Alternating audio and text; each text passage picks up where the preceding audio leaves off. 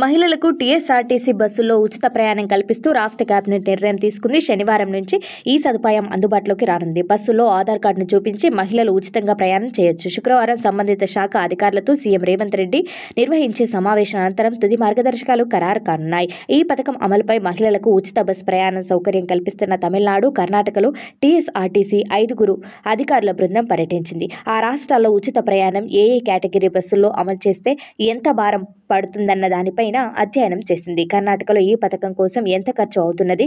దాన్ని రాష్ట్ర ప్రభుత్వం ఎలా సర్దుబాటు చేస్తున్నది? వంటి విషయాలను పరిశీలించి నివేదికను సిద్ధం చేసినట్లు సమాచారం. ఈ నివేదికను సీఎంకు శుక్రవారం అందజేసే అవకాశం ఉన్నదని అధికారులు తెలిపారు. ఇక తెలంగాణలో కూడా కాంగ్రెస్ పార్టీ ఎన్నికల సమయంలో మహిళలకు ఉచిత ప్రయాణం హామీ ఇచ్చింది. దీన్ని బట్టి కర్ణాటక మోడల్నే ఇక్కడ అమలు చేయాల్సి ఉన్నది.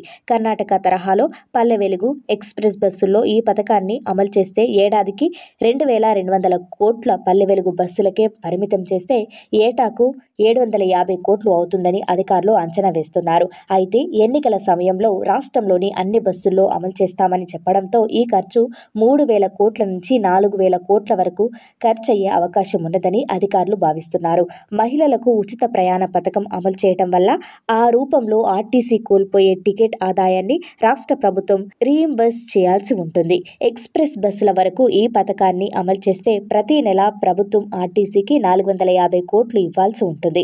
ఇక ఆర్టీసీ బస్సుల్లో మహిళలకు ఉచిత ప్రయాణాన్ని దక్షిణాదిలో తొలుత తమిళనాడు ప్రారంభించింది. అయితే కేవలం నగర పట్టణ ప్రాంతాల్లో తిరిగే సిటీ ఆర్డినరీ బస్సుల్లోనే ఈ వెసులుబాటు కల్పించింది. ఇందుకోసం ప్రత్యేకంగా గులాబీ రంగులో ఉండే బస్సులను అందుబాటులోకి తెచ్చింది. ఈ రంగు బస్సుల్లోనే మహిళలకు ఉచిత ప్రయాణం అందుబాటులో ఉంటుంది.